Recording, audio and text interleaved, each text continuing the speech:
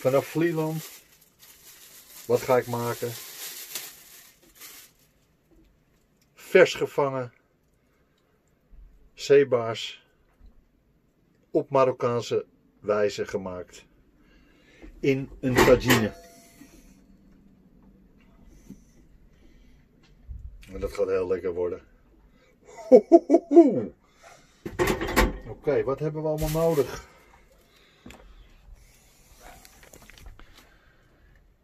Een zoete aardappel, een gewone aardappel, saffraan, knoflook, natuurlijk een citroen, een grote puntpaprika, courgette, rode peper, tomatenpuree, verse koriander, verse peterselie. Dan gaan we zo een uh, maken. En alle groenten snijden. En natuurlijk heb je nodig hele mooie olijfolie. De vis die past natuurlijk nu niet in de tagine. Dus ik ga een stukje van de staart afhalen. En ik ga de kop eraf halen. En dan kan die zo in de tagine. Ik heb in Marokko geleerd uh, om, uh, om dit te maken. Ik ben in Marokko geweest. Je kan mijn andere video's zien. We gaan eerst, eerst even de vis, eerst even de vis snijden en nog even extra schoonmaken. Achter de kieuw snij je hem in. En dan halen we eerst even de kop eraf. Net achter de kieuw. En dan halen we eerst even de kop eraf. Zo.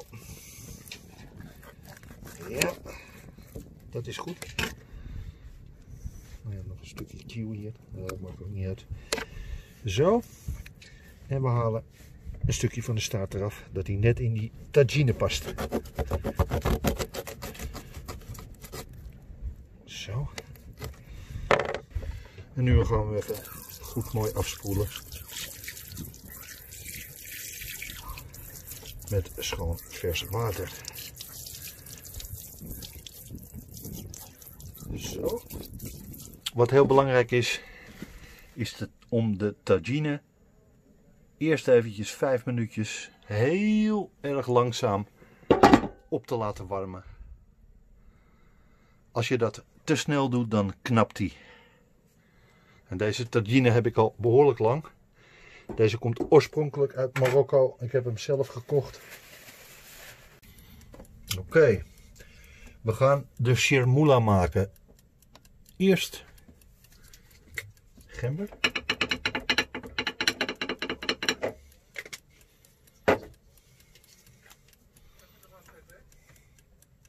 Komijnzaad.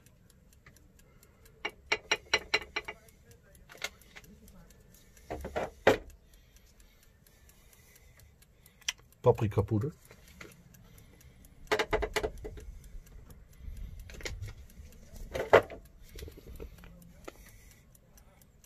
Kurkuma.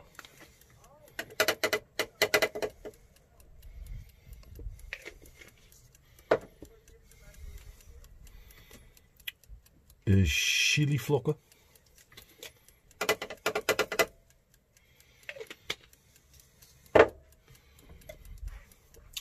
Verse, verse citroen.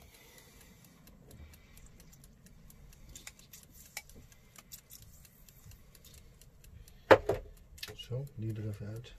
Zaadjes. Verse citroen. Vers citroensap. Zo.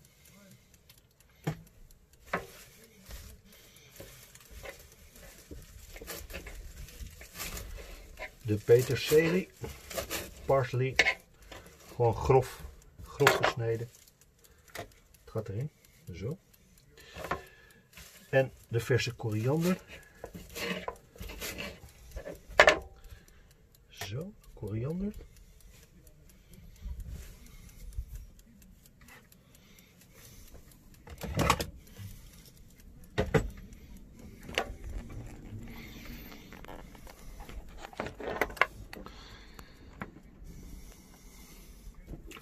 Vervolgens de zout.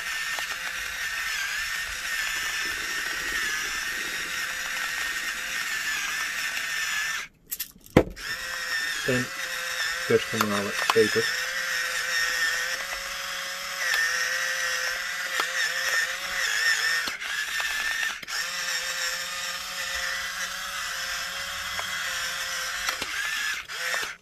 Zo. Wat er nu bij komt is de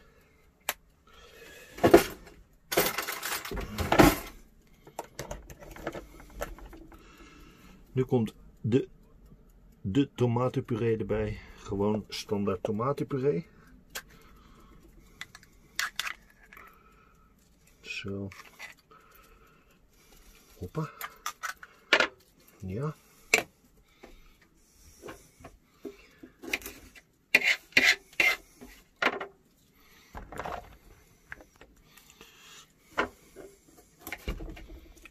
Ik ga de knoflook snijden.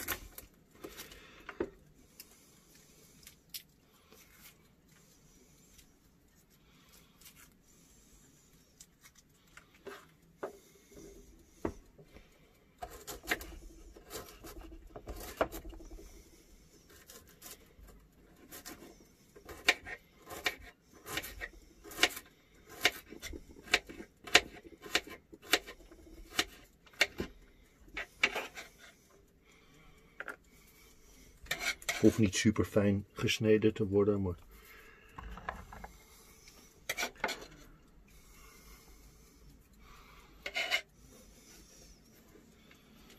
Dat is de verse knoflook. Hoppa. Zo.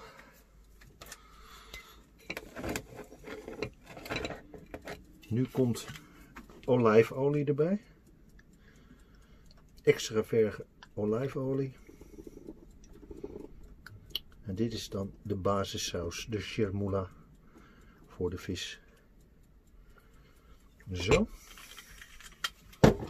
Normaal doe ik altijd uh, water bij. Maar deze keer heb ik gewoon een droge witte wijn. Een Sauvignon. En in plaats van water doe ik er een beetje wijn bij. Dus de eerste vijf minuten van de tagine dat die opstaat. En deze chermoula die gaan we mixen.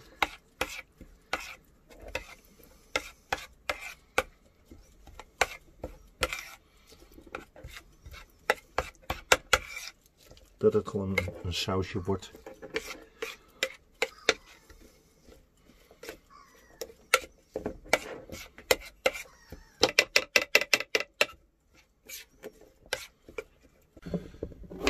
Nu ga ik de wortel snijden. Kontjes eraf. En dan rasp ik hem schoon met een schraper. De wortel is schoongemaakt. Nu ga ik de wortels in stukjes snijden. Het ongeveer zulke dikke stukjes zijn. Zoiets.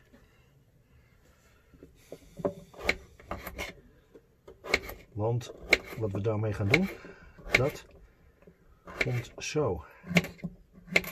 De tagine heeft 5 minuten opgestaan. Beetje warm geworden. En na 5 minuten doe ik er wat olijfolie in. Extra verge olijfolie. En nu zet ik het vuur iets hoger. Ik zet het vuur ietsjes hoger. Zoiets. Nog niet op zijn hoogst. En nu laat ik de olie een minuut of vijf ook warm worden. Dit is de safraan. Kun je gewoon overal kopen. Echt Iraanse safraan. En daar gaat een beetje van in. Niet alles. Zo, een paar draadjes safraan. En dat gaat er nog even in, in de schermoele.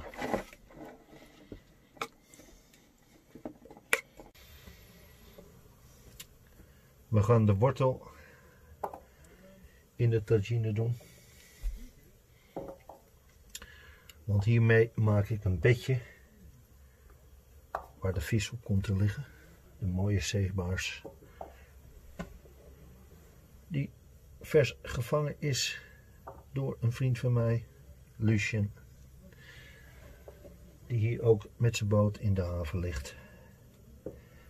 En die heeft die vis vers gevangen. Dus verser kan niet. Dit is het bedje. Dit is het mooie bedje. Het gas gaan we hoog doen.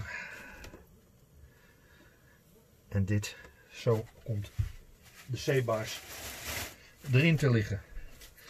Wat ik wel altijd doe met de zeebaars, nog een klein beetje zout eroverheen.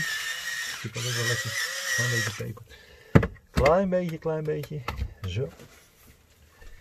En wat we nu al gaan doen, is een beetje van de mooie chermoula, de saus eroverheen te doen. De tomatensaus. Ja. Zo.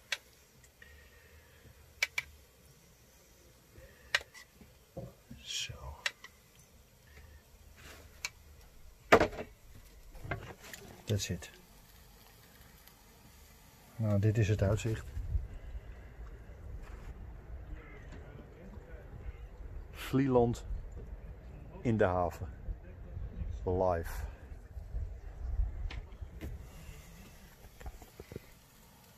We gaan de aardappel snijden. De zoete aardappel en de gewone aardappel.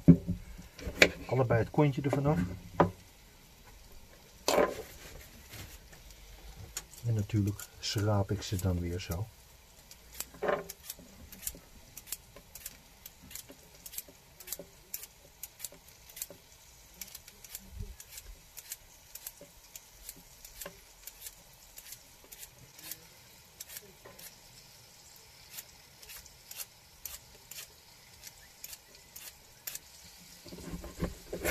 We snijden de aardappel in plakjes. Niet, niet te dun, niet te dik. Zo. Deze hetzelfde. Het kan ook in de lengte, maar het mag ook in de breedte. Dat maakt niet uit waar je voor, voorkeur naar uitgaat. Ik ga de rest van de groenten snijden. De aubergine. Ik doe meestal maar een halve erin, dat is zat. Zeker dat het nu voor mij alleen is. Die snij ik in vier stukken, beetje grote stukken, want dat is het lekkerste met de aubergine. eh, sorry, de courgette. de courgette snij ik in vier stukjes, een beetje grote stukken, want dat is het lekkerste met de courgette. Nu heb ik hier de puntpaprika en die snij ik in ringetjes.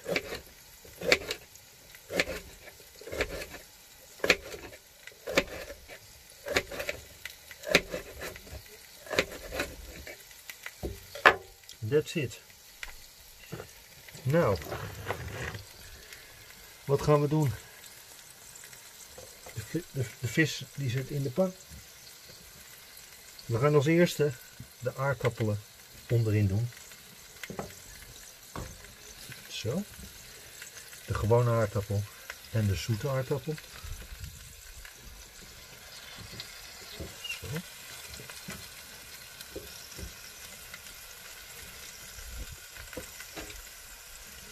Dan doe ik daar al een klein beetje chermoula overheen. De saus. Oh, het ruikt nu al fantastisch. En het wordt echt, eh, het dit is het mooiste. Mooiste eten ter, ter, ter wereld. Dit is zo ongelooflijk. Ongelooflijk.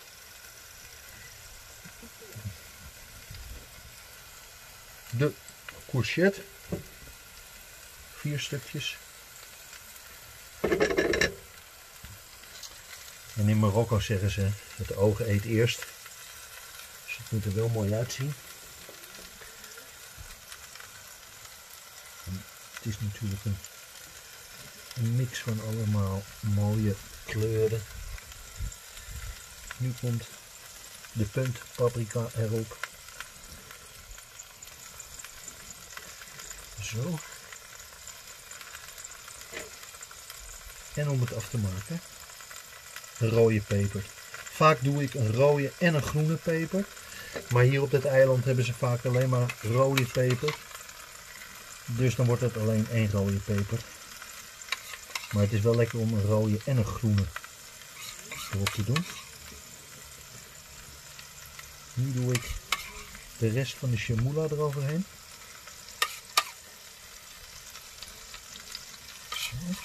Het vuur staat nu behoorlijk hoog. Bijna op zijn hoogst. Dit vuur kan niet zo heel erg hoog, dus. Maar het mag, het mag goed hoog. Het moet goed hoog. En natuurlijk afhankelijk hoe groot de vis is. Daarvan, ehm, ja. Hoe groter de vis, hoe langer de tijd. Deze vis is nou, matig, is redelijk groot. Ehm, ik ga deze vis ongeveer, ja, ongeveer eerst 50 minuten en dan de laatste 10 minuten komt er citroen nog bij. Het laatste beetje saus, daar gooi ik nog een klein beetje wijn bij.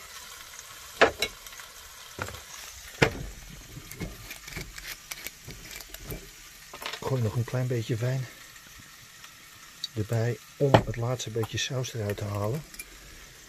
Want die saus, dat, dat is het helemaal. En die gaat ook, die gaat er ook in. Zo.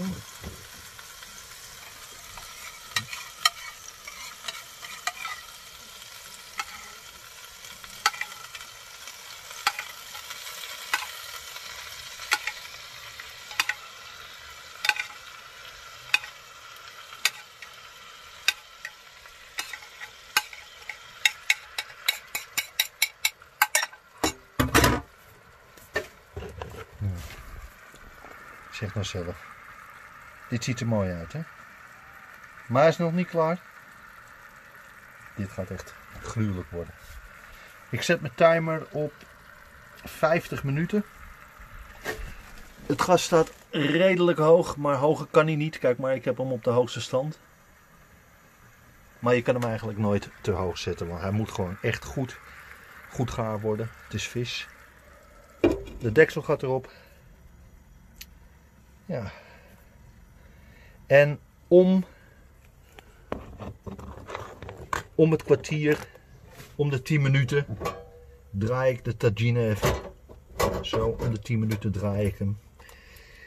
Ik zet, ik zet de timer nu op 50 minuten. En het laatste, ongeveer de laatste 10 minuten, dan komt de citroen erbij. Nou, even geduld. En even genieten van het mooie weer. Wat prachtig is het hier op Vlieland.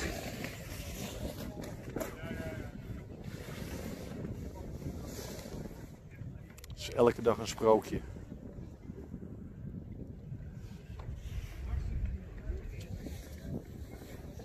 Het is fantastisch.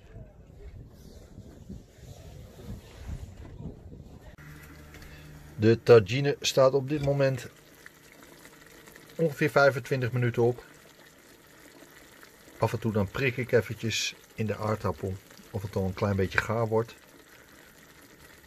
En ik draai de tagine een kwartslag. Het ziet er al goed uit.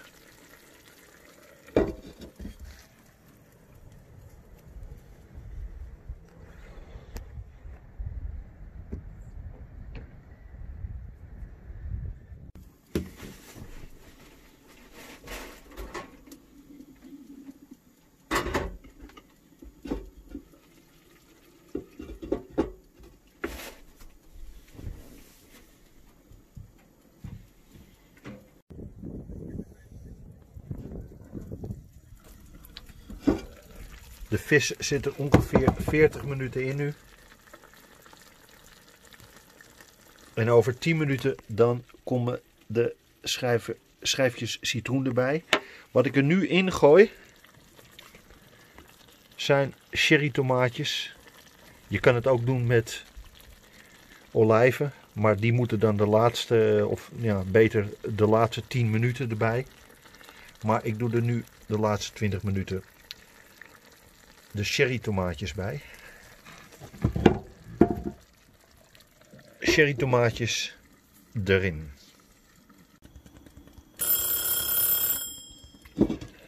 Vijftig minuten zijn voorbij. Ik voel er even in met een mes. Het is allemaal goed gaar. Ja, is perfect. Nu komt de citroen erop.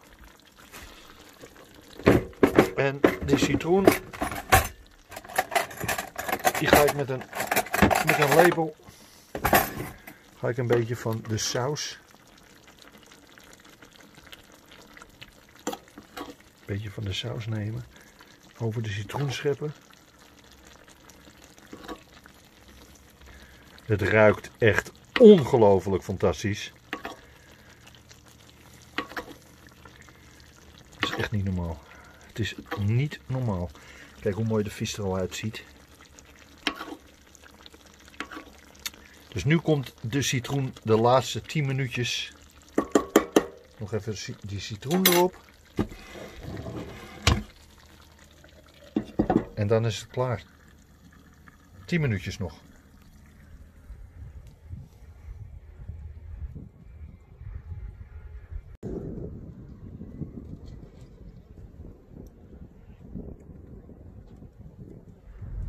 50 minuten zijn voorbij. En we gaan kijken of de flow goed is.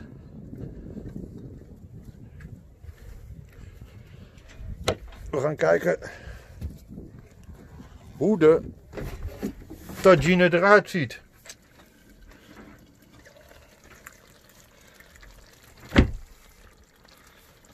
Oei, oei, oei.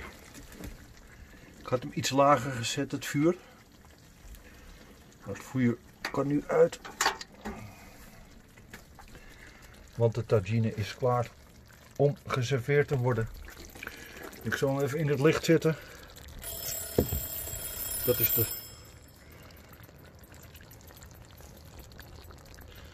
En we gaan hem even op het bord opscheppen. Om even te kijken hoe de vis eruit ziet.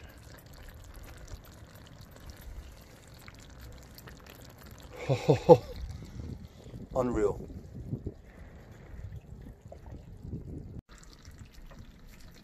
En zo ziet het tagine eruit. Lekker met het wijn wat nog over is. Lekker een wijntje erbij. Ziet er toch verrukkelijk uit. Ik heb er maar gewoon wit brood bij. Normaal moet je Marokkaans knapperig brood hebben. Wat uh, net uit de oven is. En nog lekker knapperig.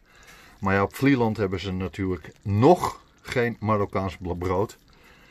Maar dat komt wel. Oké. Wat gaan we doen? We gaan als eerste de vis eruit scheppen. En die gaan we even op het bord leggen. Zo.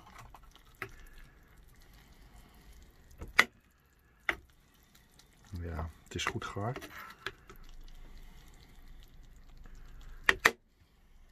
Zo. Even lekker opscheppen.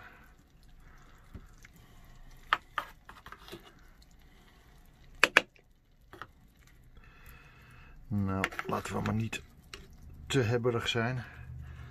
We beginnen met dit. En nu gaan we even kijken hoe gaar de vis is. Zo. Nou. Ik zal een klein stukje proeven even. Even een klein stukje proeven.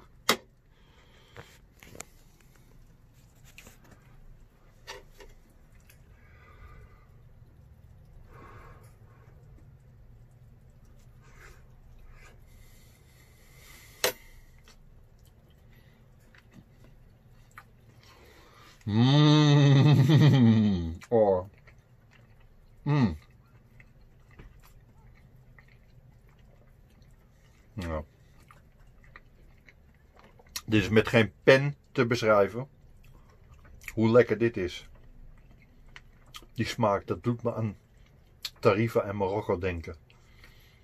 Het is ook Marokkaans natuurlijk, maar weet je, ik reis terug naar Tarifa en Marokko. Als ik die smaak proef. Het is onbeschrijfelijk lekker. En natuurlijk het, uh, het witte brood.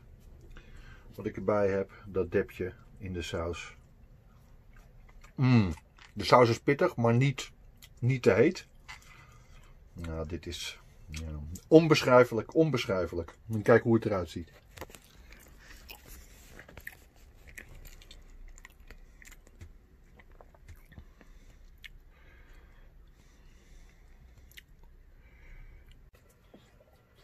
Wauw. Wauw. Mmm.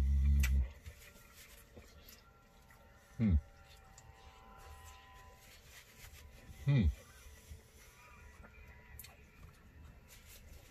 Bedankt voor het kijken naar de video. Ik ga lekker eten. Lekker in de saus deppen. Doe die duim omhoog. En ik hoop dat ik één iemand, één persoon hier blij mee kan maken.